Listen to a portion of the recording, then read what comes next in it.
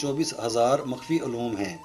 عملیات تعویزات لوح، تلسم، حاتم، حاضرات و دیگر ایسی کئی ان دیکھے مخفی علوم ہیں جو اپنا ایک وجود اور مقام تو رکھتے ہیں، لیکن ان کو اپنی ظاہری آنکھوں سے نہیں دیکھا جا سکتا، بلکہ اس کو دیکھنے کے لیے بھی مخفی آنکھ کی ضرورت ہوتی ہے۔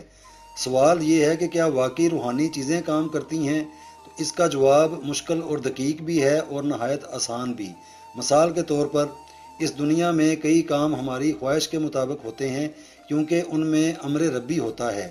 اس لیے کسی کاوش، محنت اور دیگر کسی بھی روحانی محنت کو نہیں کیا جاتا اور کئی کام چاہتے ہوئے بھی خواہش کے مطابق نہیں ہوتے۔ بالکل اسی طرح روحانیت میں کئی مرتبہ تو کچھ نہ بھی کیا جائے تو کام ہو جاتا ہے، اور کئی مرتبہ بے شمار محنت بھی کی جائے تو کام نہیں ہوتا۔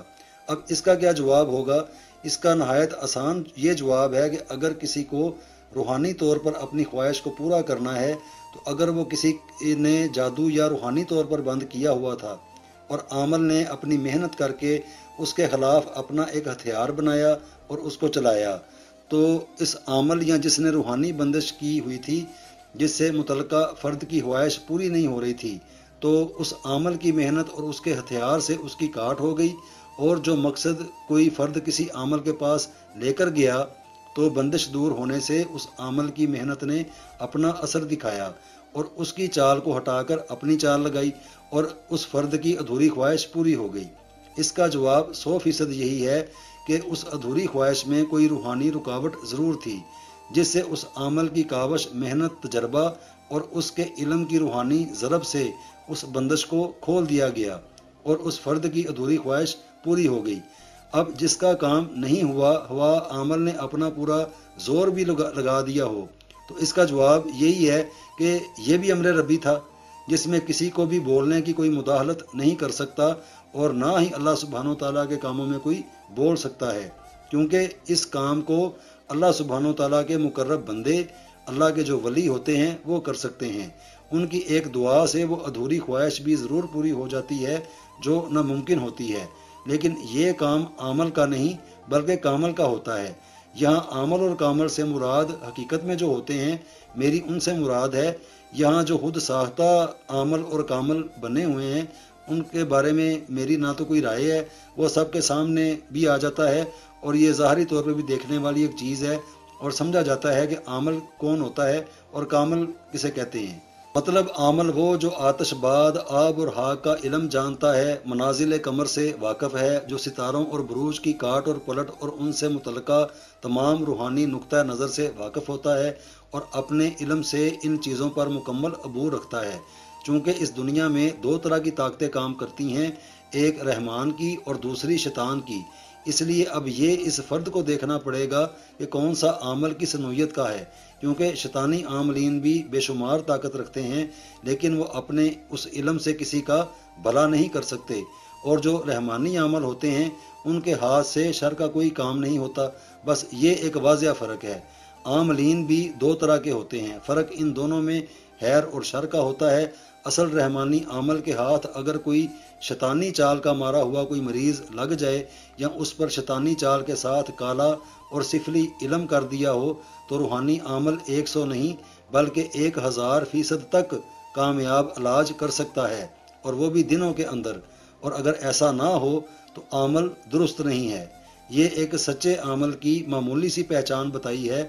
بڑے سے بڑا جادو، ٹونا شر، فساد، شیطانی حاضرات، وہ سب ایک رحمانی عمل جلد از جلد درست کر سکتا ہے، جبکہ شیطانی عمل جلد از جلد کسی کو بھی اپنے جال میں پھنسا کر اس کے ساتھ ایک سو نہیں، بلکہ ایک ہزار فیصد جتنا بھی برا ہو سکتا ہو، بالکل وہ کرے گا۔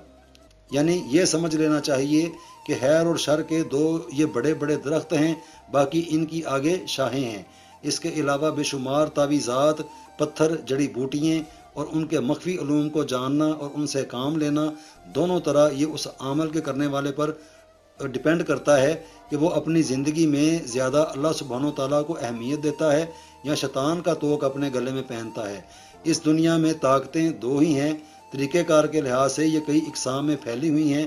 اگر ان کو اکائی کی شکل میں دیکھا جائے تو سامنے یا تو رحمان آئے گا یا پھر شیطان۔ اس کے علاوہ کوئی تیسری چیز نظر نہیں آئے گی۔ اصل مسئلہ کیا ہے؟ بے شمار ایسے افراد ہیں جو عملیات و تعویذات و دیگر روحانی اور غیر روحانی چیزوں کو نہیں مانتے۔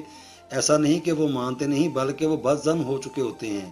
بے شمار عاملین نے سنہرے خواب دکھائے اور کیا کچھ بھی کیا اور لوازمات بھی پورے کروائے، اچھے خاصے روپے بھی لے لیے، لیکن کیا کچھ نہیں۔ ایسے عاملین سے ملنے والے افراد اس عمل سے تو بازن ہوتے ہی ہیں، بلکہ وہ روحانیت سے بھی منکر ہو جاتے ہیں۔ یہ طریقہ بالکل غلط ہے۔ اب اس میں بھی دو چیزیں ہیں۔ پہلی بیماری چاہے جیسی بھی ہو، لیکن اس کا روحانیت کے ساتھ تعلق ہو، تو سچا عمل اس کو شفا میں بدل سکتا ہے۔ بالکل یہ سچی بات ہے کہ اللہ سبحانہ و تعالیٰ کی طرف سے اس کے اوپر اتنی خاص رحمت ہوتی ہے۔ کہ بالکل اگر کسی کے اوپر جادو ٹونا یا اس طرح کی کوئی بھی روحانی بیماری یا ایسا مرض ہوگا تو جو حقیقی طور پہ عمل ہوتا ہے، تو اس کو وہ بالکل ٹھیک کر دیتا ہے۔ اب اگر کسی عمل نے روپے، پیسے لے کر بھی ایسا نہیں کیا، تو وہ اس فرد کی نظروں میں نہیں گرا، بلکہ اللہ سبحانہ و تعالیٰ کا مجرم بھی بن گیا ہے۔ کیونکہ سلسلہ روحانیت میں اس چیز کے اندر ایک ہزار فیصد شفا ہوتی ہے۔ اور بالکل یہ میرا دعویٰ ہے، بلکہ میں مناظرہ بھی کرنے کے لیے تیار ہوں۔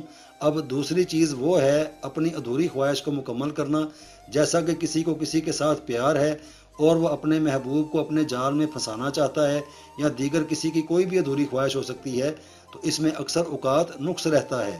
وہ اس لیے کہ ایک خواہش انسان کی اور ایک خواہش رحمان یا شیطان کی ہوتی ہے۔ رحمان کی اس صورت میں اگر کوئی دو پیار کرنے والے شادی کرنا چاہتے ہیں اور دونوں کے گھر والے ہی نہ مانتے ہوں، تو ان کے اندر جو معیار کا پایا جانا ہے یعنی کہ امیر یا غریب ہونا، ایک دوسرے کے ساتھ ذات کا نہ ملنا، یا ایسی کئی چیزیں جو شادی نہ ہونے کا سبب بن جاتی ہیں، اس میں بھی اگر کوئی صرف اسی چیز کو کرنے والا عمل ہو، تو وہ شادی بھلے ہی نہ کروا سکے، لیکن ان کا نقصان اس قدر کر دے گا کہ اس صورت میں اگر کوئی ڈر اور خوف کے مارے شادی کر دے تو کر دے، وگرنہ ایسی کوئی بھی صورت نہیں نکل سکتی کہ شادی ہو جائے۔ اور جب کسی کی یہ خواہش پوری نہیں ہوتی تو پھر بھی ایسے افراد روحانیت کے منکر بن جاتے ہیں۔ اب ان دونوں صورتوں میں نقص روحانیت کا نہیں، بلکہ روحانیت کا لبادہ اوڑے افراد کا ہوتا ہے کہ کوئی خود ساختہ کیا بنا ہوا ہے اور اس کے پاس جانے والے سے کیا امید اور توقع رکھی جاتی ہے۔ ان باتوں کو نہایت غور کے ساتھ سمجھا جائے۔ یہ بڑے پتے کی باتیں ہیں۔ میری زندگی میں ایسے کئی افراد ہیں جن کے علاج ادھورے رہ گئے مطلب ان کے مکمل علاج نہیں ہو سکے۔ اب ہو سکتا ہے کہ وہ مجھ سے بازن ہو چکے ہوں۔ یہ بھی غلط ہے۔ کیونکہ ہو سکتا ہے انہوں نے لوازمات ہی نہ پورے کیے ہوں۔ تو اس طرح کی کافی ساری ایسی چیزیں ہوتی ہیں جس سے بالکل متواتر ایک عمل کو پرکھا جا سکتا ہے کہ یہ کیا لے کے بیٹھا ہوا ہے۔